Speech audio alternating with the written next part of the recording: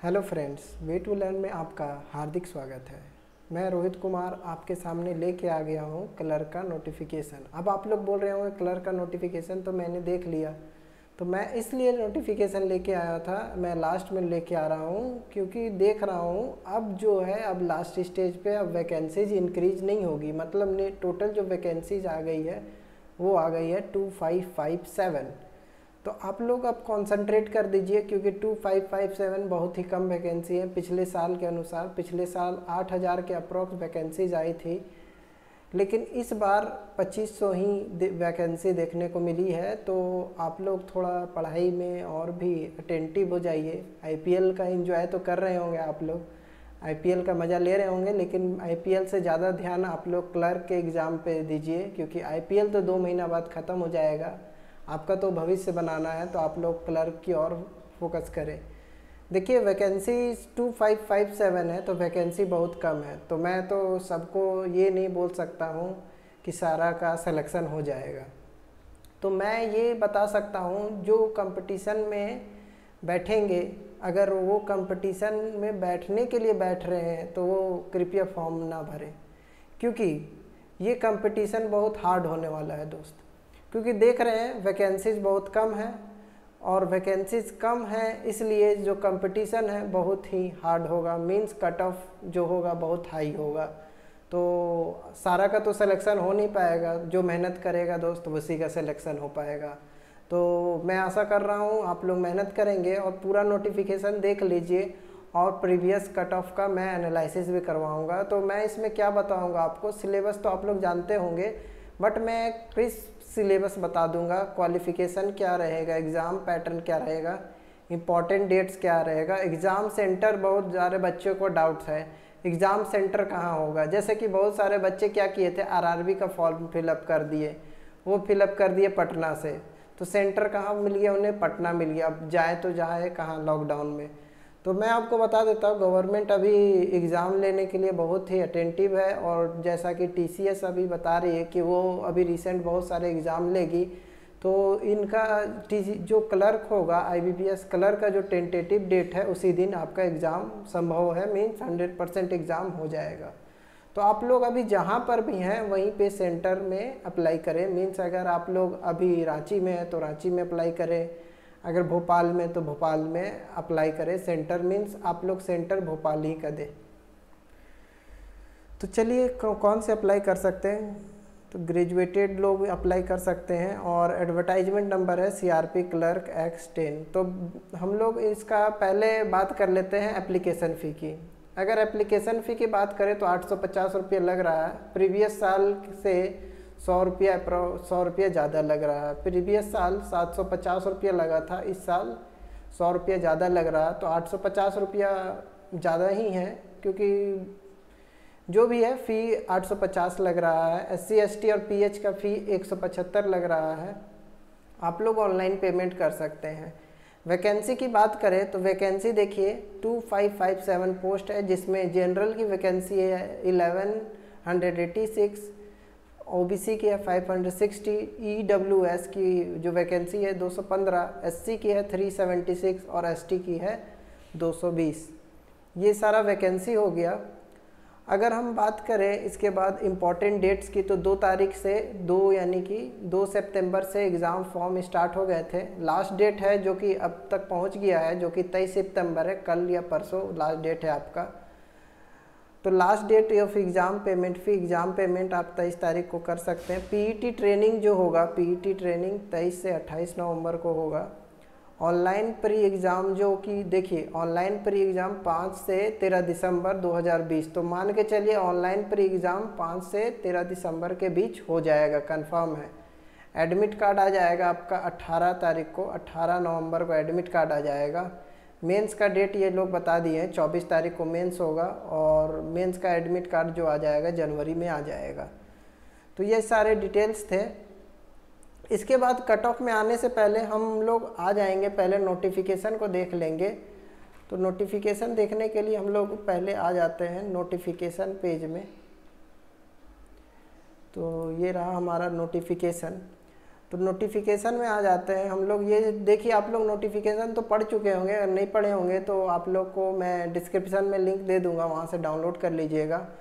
तो देखिए, ये सब में जो, ये सब में देखिए बैंक जो पार्टिसिपेट कर रही है बैंक ऑफ़ बड़ौदा है कैनरा बैंक है Indian overseas UCO bank bank of India central bank ये सारे बैंक है। लेकिन सारे का वैकेंसीज क्या क्या है? नील है। सारे का वैकेंसी ज़ीरो ज़ीरो है। किसी का है तो किसी का नहीं है। नील है। मैंने डेट आपको बता ही दिया है। सारा डेट जो टेंटेटिव डेट्स यहाँ मैंसनड है, मैंने डेट आपको बता दिया है।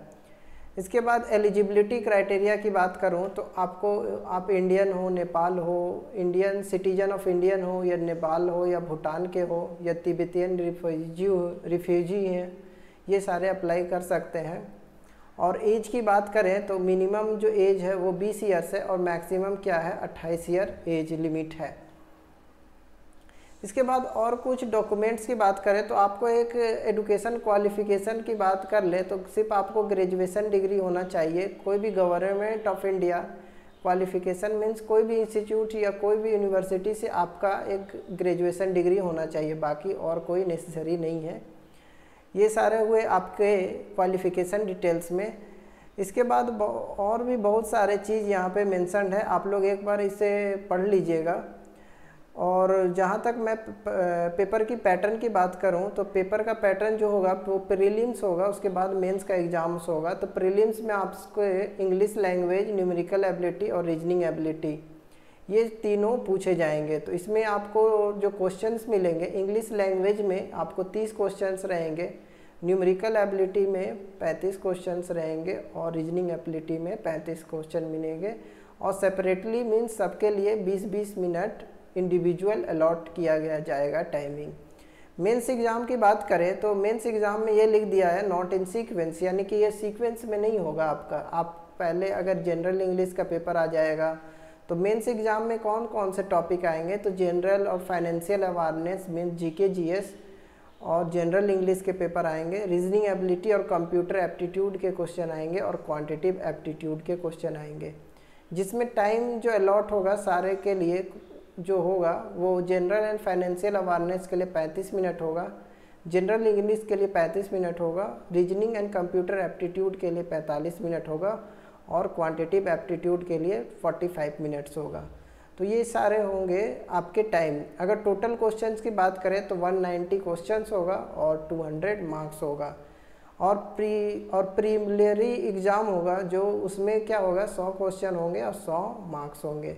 तो ये सारे हो गए आपके एग्ज़ाम रिलेटेड अगर हम सेंटर की बात करें तो सेंटर मैं बता दूँ, आपको देखिए यहाँ पे सारे वैकेंसीज दिए हुए हैं। वैकेंसीज में देखिए, बहुत सारे वैकेंसीज में नील नील नील मैंसनड है। अगर सेंटर में बात करें तो आपको सेंटर हर एक हर एक स्टेट में मिल जाएगा। और सेंटर का कॉलम यहाँ पे नीचे में दिया हुआ है। तो मैं आपको दिखा दे रहा हूँ। देखिए यहाँ पे एग्ज़ामिनेशन सेंटर है। Examination centre preliminary mains exam यहाँ पे एग्ज़ामिनेशन सेंटर है। जैसे अंडमान एंड निकोबार में प्रिलिमिनरी जो एग्ज़ाम होगा, उसमें पोर्ट ब्लेयर सेंटर है और मेंस का एग्ज़ाम का भी पोर्ट ब्लेयर है। तो इसी तरीके से बहुत सारे जो भी आप अपने डिस्ट्रिक्ट अपने स्टेट के होंगे, वहाँ पे देख लीजिए कौन से सेंटर में आपको अप्लाई करना है, क्योंकि एग्ज़ाम जो होगा, वो आप मान के चलिए पाँच से बारह दिसंबर को हो जाएगा। चलिए, इसके बाद आप लोग को फ़ोटो वोटो अपलोड करना पड़ेगा तो फ़ोटो का इमेज साइज़ ये four into five centimetre into three into five centimetre होगा सिग्नेचर एंड थम और एक तो हैंड डिक्लेरेशन आपको अप्लाई करते समय अपलोड करना पड़ेगा। इसके बाद हम लोग कट ऑफ़ में आ जाते हैं। अगर कट ऑफ़ की बात करें, हम लोग देख लेते कट ऑफ़ में आ जाए हम लोग। तो कट ऑफ़ में हम लोग देख लेते हैं इसमें। तो कट ऑफ़ देखिए यहाँ पे I B P S clerk prelims का मैं यहाँ पे आप देख रहे होंगे कट ऑफ़ दिया हुआ है। आंध्र प्रदेश का जो कट ऑफ़ है, वो है 66.25 और दिल्ली का कट ऑफ़ है 71.75 इसी तरीके से झारखंड का कट ऑफ़ है 73 तो देखिए, झारखंड का कट ऑफ़ सबसे ज़्यादा है तो आप जहाँ से भी अप्लाई करिए, कोई दिक्कत नहीं है। मैं आपको सिर्फ़ एक कट ऑफ़ से एनालिसिस कर लीजिएगा, क्योंकि इस बार जो कट ऑफ़ होने वाला है, वो थोड़ा ज़्यादा जाएगा प्रीलिम्स में। प्रीलिम्स में जो कट ऑफ़ है, वो थोड़ा ज़्यादा जाएगा। तो आप लोग को यहाँ पे कट ऑफ़ मैं दे दिया हूँ। तो आप लोग एक बार देख लीजिए, वैसे मैं बता दे रहा हूँ। असम का 63 है, बिहार का 65 है, चंडीगढ़ का 71.5 है, दिल्ली का 71.75 है, गोवा का 67 है, गुजरात का देखिए 27 है। तो इसमें आप बताइए नहीं, आप लोग 27 जो कट ऑफ़ है, इसमें सीट्स जो है अप्रॉक्सीमेटली ज़्यादा थी पिछले साल। तो इसलिए कट ऑफ़ बहुत कम गया है। हरियाणा का कट ऑफ़ है 68.25 और हिमाचल प्रदेश का कट ऑफ़ है 62.25 जम्मू एंड कश्मीर का कट ऑफ़ मेंशन नहीं है। कर्नाटका का कट ऑफ़ है 53.25 ये ई e का कट ऑफ़ है। केरला का कट ऑफ़ है 73.5 और मध्य प्रदेश का है 70 इसी तरीके से सारे कट ऑफ़ इसी पैटर्न में है। मीन्स 70 टू 75 है। मींस आप मान के चलिए आपका कट ऑफ़ जो है 70 टू 75 है। बट इस साल जो कट ऑफ़ लाई करेगा, वो मान के चलिए वो पाँच से छः मार्क्स इंक्रीज हो जाएगा। फाइव टू छः मार्क्स इंक्रीज हो जाएगा। मीन्स जो कट ऑफ़ हो जाएगा, वो आपका सेवेंटी फाइव टू एटी हो जाएगा कट ऑफ़ तो आप लोग इसीलिए रेडी रहिए और प्रिपरेशन को और भी मज़बूत करते रहिए, क्योंकि प्रिपरेशन करिएगा तभी आप कट ऑफ़ को पार कर पाइएगा। तो मेरे जितने भी वीडियोज़ हैं मैं तो मेंस का करा रहा था लेकिन प्रीलिम्स का रीजनिंग का भी कुछ कराया हूँ तो वो आप लोग ज़रूर देखिएगा। इसके बाद मेंस की बात करें क्योंकि प्रीलिम्स निकालना कोई बड़ा काम नहीं है सबसे बड़ा काम है मेंस निकालना मेंस को क्वालिफाई करना। तो मेंस का जो यहाँ कट ऑफ़ दिया हुआ है मैं तीन साल का कट ऑफ़ लेके आया हूँ।